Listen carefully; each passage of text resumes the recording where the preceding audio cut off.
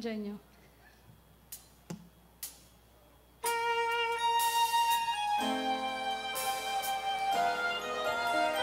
Ooh.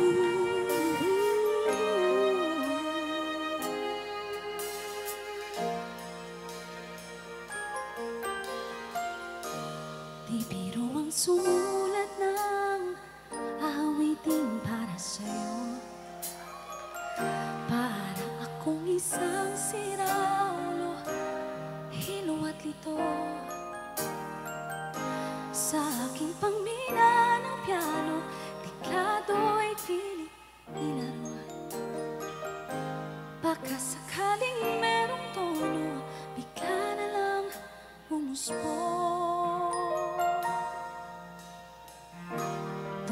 Saan naman kayang awitin para sa'yo?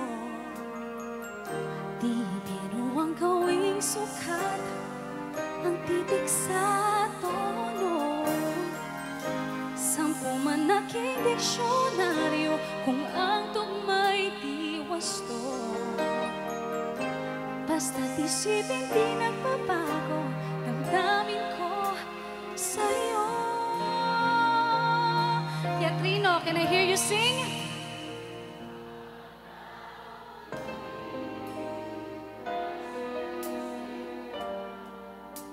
Napapanaginip ka kahit sa